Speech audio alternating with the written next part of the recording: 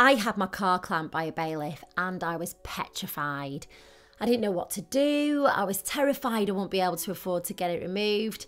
Well, a few years have gone by since then, and now I've got the information that you need about who can legally clamp your vehicle, where they can do it, and whether you're allowed to remove it yourself. I had this irrational thought process when I saw my car clamped, trying to work out if I had the tools to remove it. I thought about calling the police, and I wondered if I could refuse to pay the money the bailiffs were requesting and maybe get my car back down the line. So I really do appreciate what a horrible predicament it can be. Whatever you do, don't remove the clamp from your car. You could end up in prison, and I'll go into more detail in a minute. Let's start with who can clamp your car.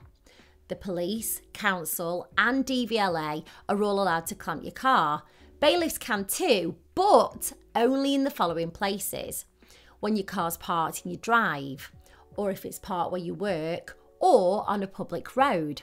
So let's say if you know you might be getting a visit from them, if your car's parked at a supermarket, on a friend's private property, or a motorway service area, they can't clamp it.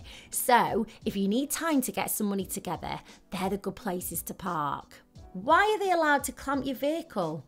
Well, if you haven't had your car taxed, the vehicle's overloaded, it's deemed unroadworthy, or like mine, you owe money to a claimant.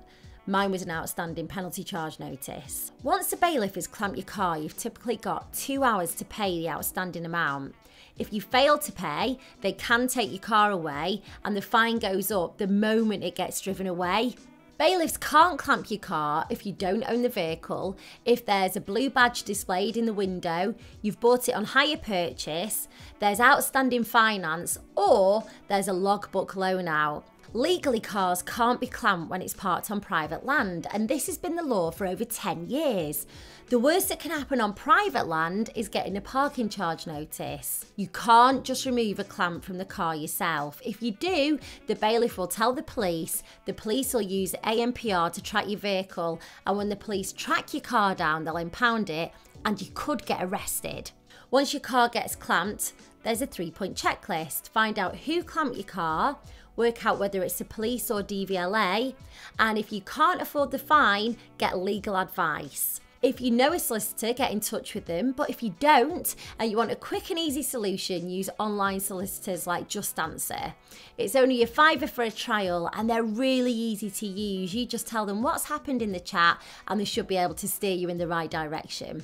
There's a link in the description if you want to check it out and support my channel.